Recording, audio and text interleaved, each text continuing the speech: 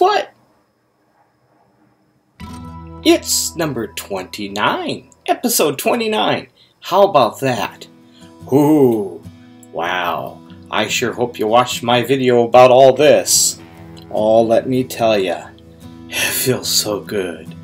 Well, we got another opportunity now to look at a few different new things and, of course, have a message. So good that glad that you had joined me today, and I ask the Lord's blessings upon you. So let's go to it, shall we? Alright, first, what I'm cutting with. This is a new straight razor. Now, please understand, when you order a straight razor, sometimes they're shave ready, and other times they're not shave ready. In other words, you gotta sharpen them yourself or get them professionally honed. This, on the other hand, was shave ready. Of course, I did a few things with it. I had to, you know, wipe it, wipe the oil off of it, and I had to uh, go ahead and strop it a few times. But that's normal, okay? And that actually preserves the sharpness of your blade. This, I'm going to read it to you because I don't have it memorized yet, is the Diane D73 by Fromm, F R O M M. And this apparently is made in Pakistan. Isn't that interesting? And I'm going to go ahead and give you a look at that. There you go. And oh yes, by jigger. That is very much a sharp blade. I was testing it out on my arm, like I usually do. It's amazing I have any hair left on my arms, actually. Alright. So, I'm going to be using my wood bowl, of course. I'm going to be using my new Badger brush, which I already told you about, the classic Samurai one.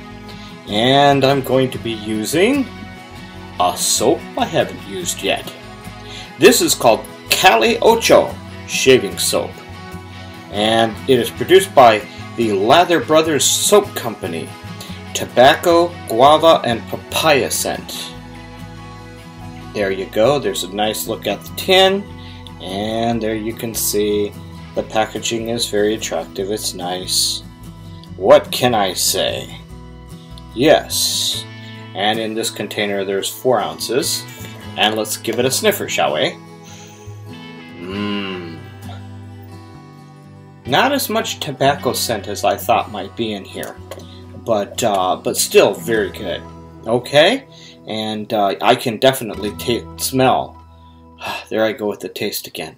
I can definitely smell the guava and the papaya in it. So we'll give it a good try and see what happens. Here's another thing.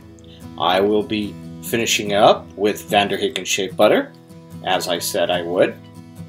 And I'm going to end it off with Pinaud Club. Very good. That's the aftershave.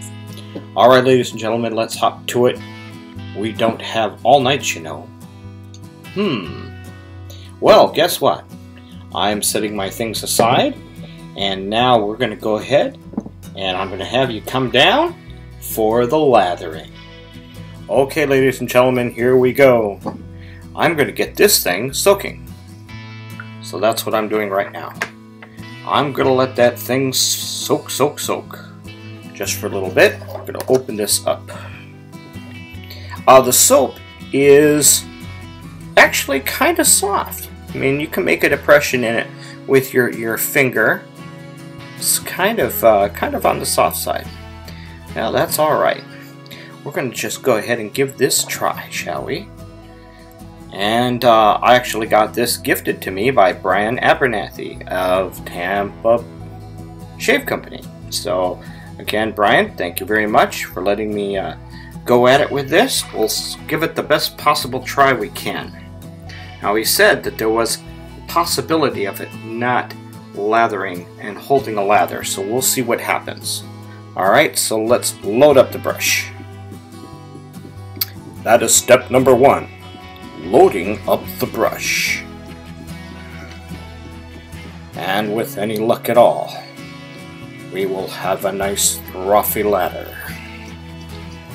Alright, it's too early to tell. And I'm really working this in because I don't want to be stuck with uh, not being able. So there is the loaded brush. Alright, let's set the tin of soap aside and let's go for it in the bowl. And of course I'm making a mess of things. What else is new? Ha ha ha. Alright, here we go, in the bowl. So I'm going to whip this up to start. I might be adding just a tiny bit of water here. Looks like I'm going to need some. Let's go ahead and add a little bit of water. I'm going to take my fancy schmancy water adder and we'll add it just a little bit. We'll work the soap down the sides, kind of like scraping down the cookie bowl, you know, and we'll whip it again. Let's see what we can do with it, shall we? Well, you know, on the onset, the, the lather looks pretty good. It looks rich. It looks like it's thickening up okay. Hmm. Well, we'll just have to wait and see. Alright.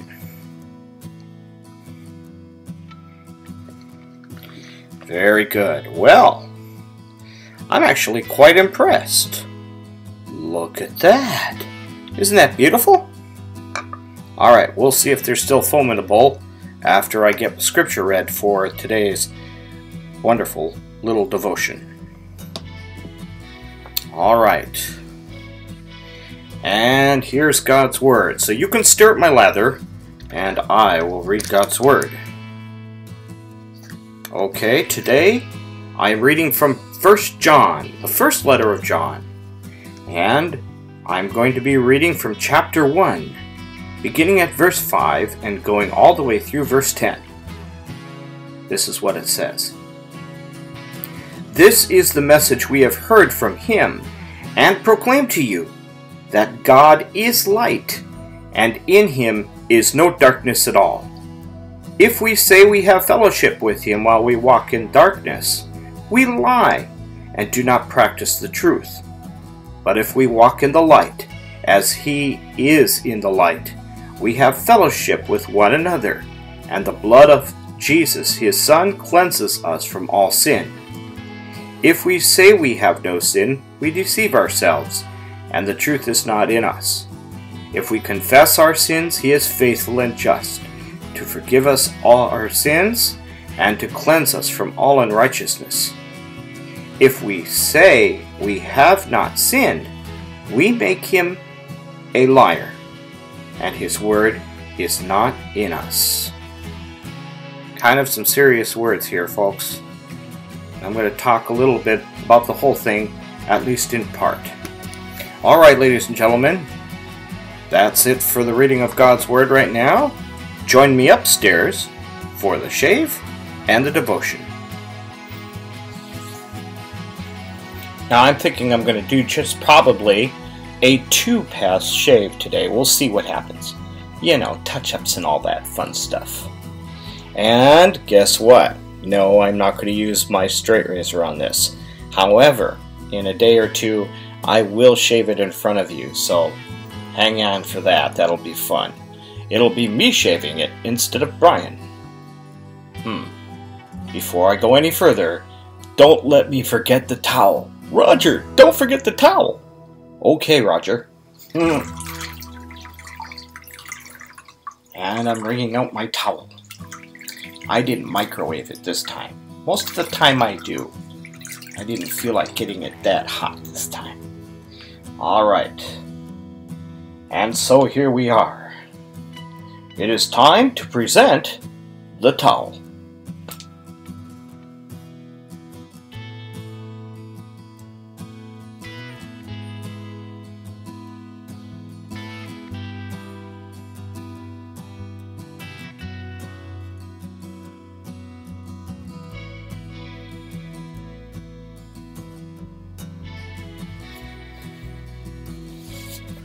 You realize there's only so many moves you can do with a towel around your face dancing in front of the camera, right?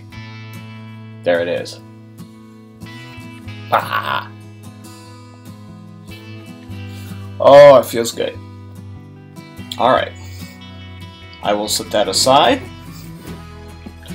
And now I will continue with the lathering. The first thing that I want to note from all of this is that God is light. And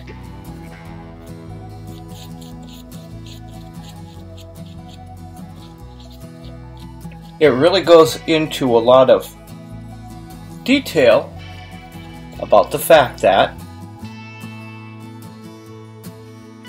the fact that he is light and that there is no darkness in him. What does that mean? No darkness in him. It means that he does not sin. It means that there's no nothing false in him.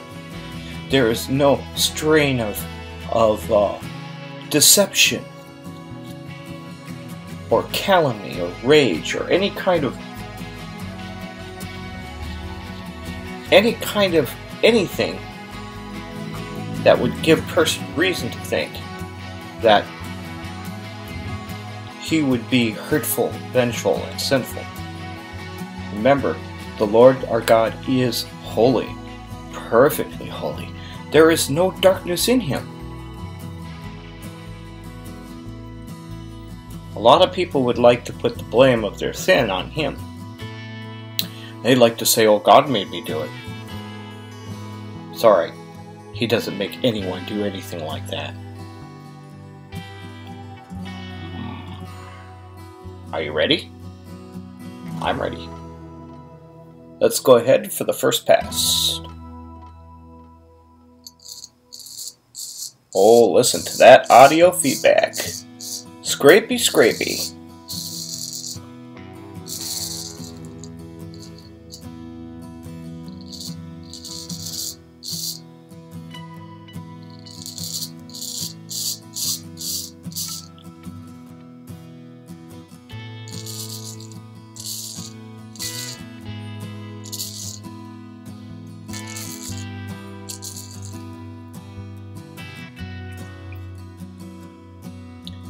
So far, so good.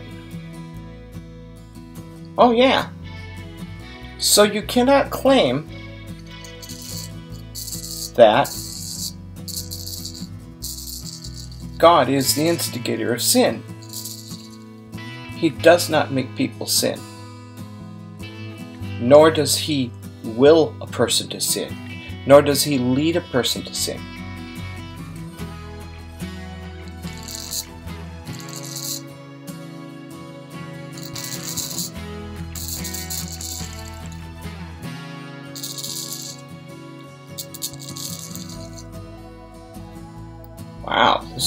Pretty good.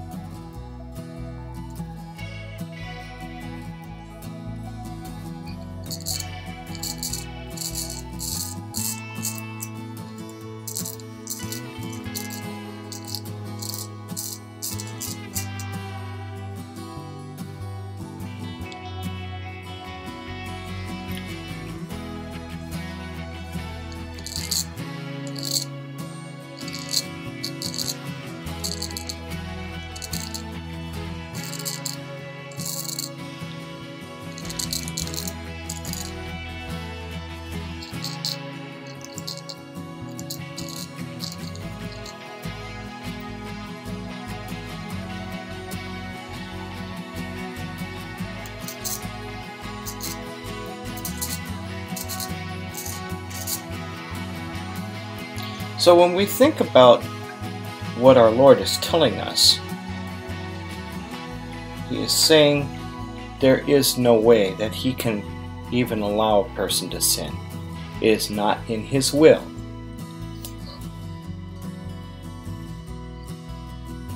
We are the own causer of our own sin.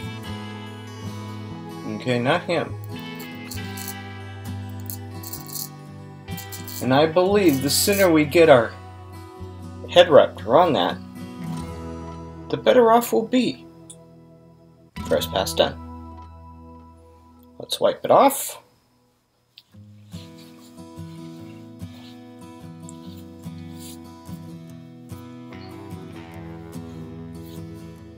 And let's go for the second. The second pass. I don't know about you, but the leather seems to be holding on pretty good.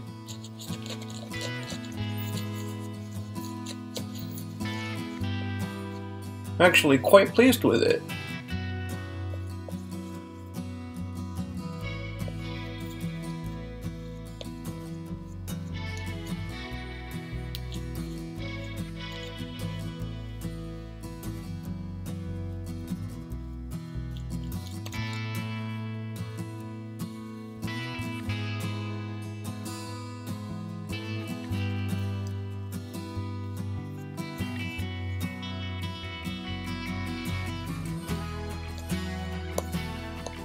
Alright, here we go. There's plenty of lather in here yet. You guys, I'm gonna have plenty.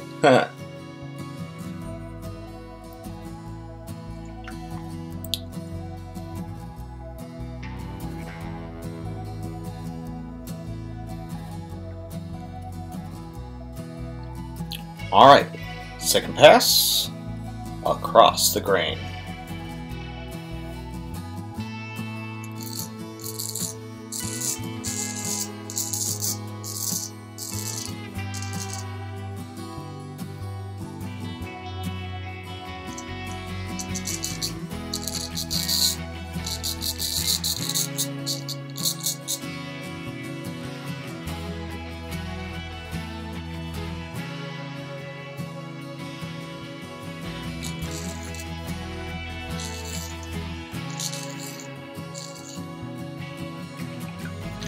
So, then, if it's not God's problem, if He's not the one that sins, if He's not the one who causes us to sin, then obviously it's our own sinful flesh and the devil tempting us, which makes us sin.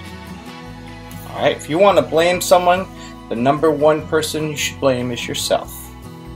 And then the devil. I mean, the devil does tempt us but he still can't make anybody sin. You do the sinning all by yourself. Which brings us to the second part of it. If we say we have no sin, we deceive ourselves, and the truth is not in us. But if we confess our sins, God, who is faithful and just, will forgive our sins and cleanse us from all unrighteousness. Okay? And I love the end of that. You know, if we continue, if we say that, if we say that we have no sin, we make him to be a liar, and the Word of God does not dwell in us. It's really true, my friends. The point being, admitting your sin is a good thing. You know, the world would say, why admit anything's wrong with you? Why do that? What? You're gonna go crazy up here. You'll lose all your hair. no, they they really say things like this, as as if admitting the sin inside of us was such a bad thing. Why would it be so bad? Is not every human alive, including myself, a sinner? The answer is yes. Hmm. Hold on to that thought. I better finish this. And I'll continue in a little bit. One moment, please. I was going sideways, right? Yeah. Okay.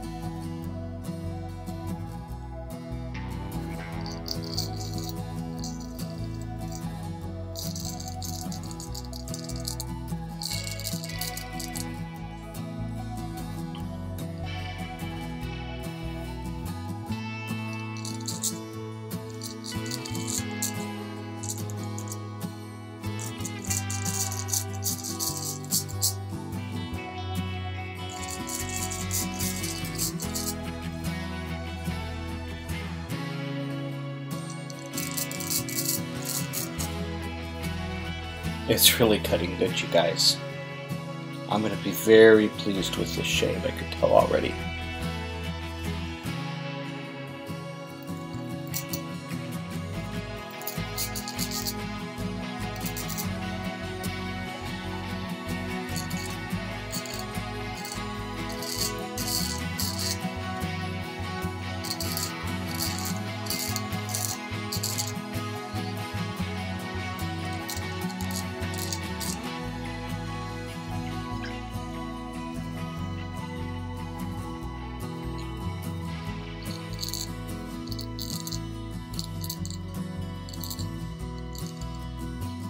Alright.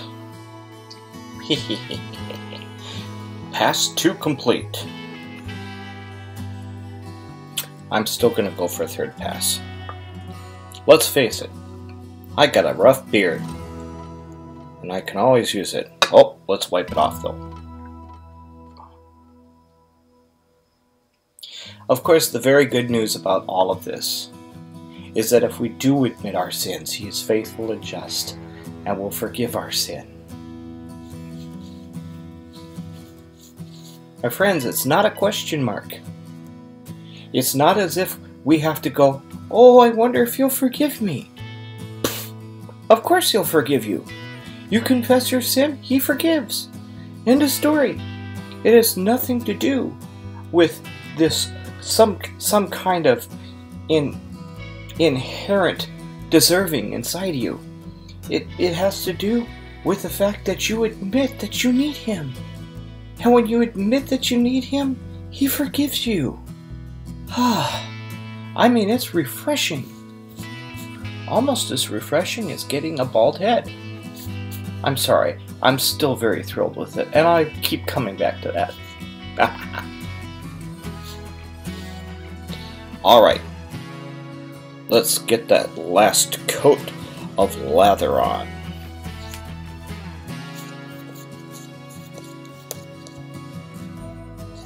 The scent is really pleasant.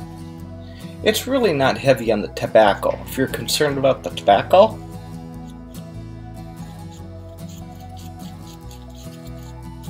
it's really not bad at all. Alright, let's see how much we got left in our brush, shall we? Bomb, bomb, bomb. Look at that. Fluffy. Mmm. Oh, it looks like I got a white slug on my face. Mm.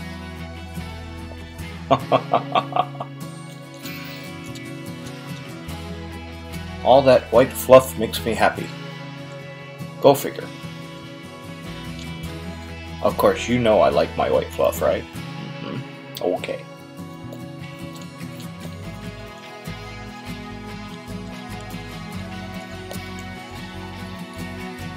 Beautiful. Let's clean the hand off. There's probably still left stuff left in the bowl. I probably have enough in this brush still. I had a little bit of water to it. I could do that too. In fact, I shaved earlier today, this morning, and when I did my, uh, of course, I'm filming that this e this evening uh, before the morning, so um, there you go. And I had plenty for a three pass here and a two pass up here. It was so much fun. and I had pretty good success. I don't think I got much for nicks or anything up there. Alright. Third pass against the grain. Oh, and enough said. Alright, here we go.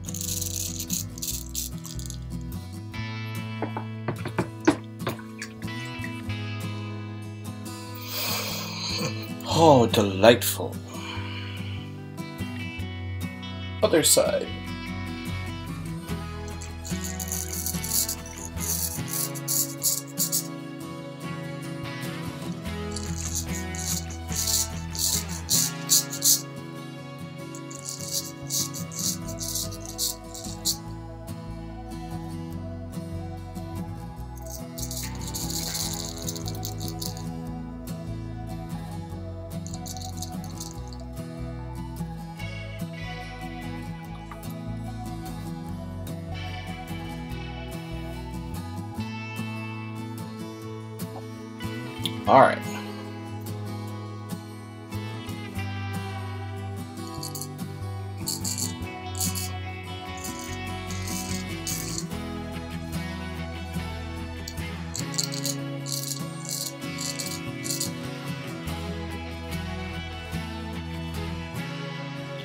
Let's try this side.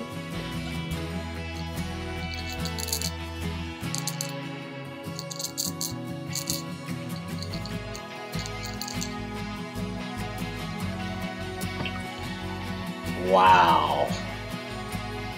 Alright, I'm going to dry off the razor. Because that's very important at this point. With all that water on it.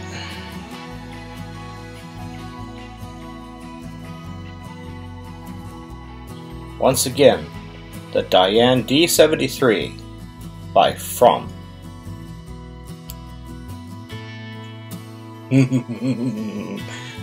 Baby but smooth.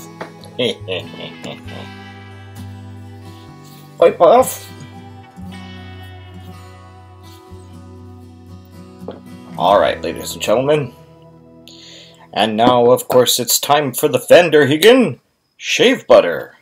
Ha! Guess what I'm gonna do?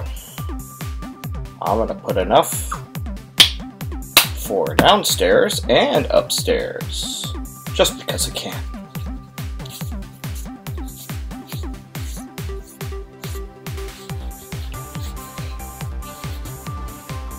Oh, yes.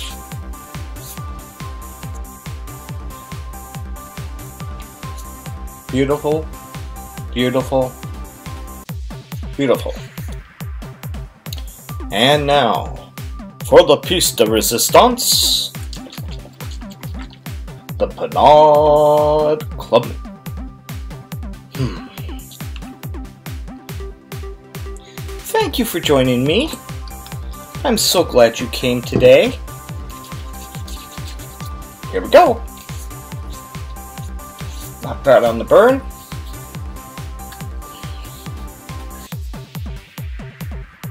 Hmm. Now I smell good, I feel good, and I look good. Ha! Beautiful. there you go. Number 29. Guess what? The next time I see you, it's gonna be 30. That's like insane. Oh, I'm very excited. Mmm. Alright, you guys. Remember, God does not cause you to sin. He is not darkness. There is no darkness in him. So, he is perfect. He is holy. He is righteous. And if we confess our sin, he is faithful and just and will forgive our sin. Believe me, my friends, he does it. God bless you. And may the Lord lead you and guide you. Please rate and subscribe. And like. By all means, share. Send the gospel out. Remember the gospel that you receive with joy could be the joy of others as they receive it. Alright, you guys, that about does it, except for to say, hmm, hmm, what should I say? Oh, yeah. May the Lord give you Nick Free and Baby butt Smooth Shaves.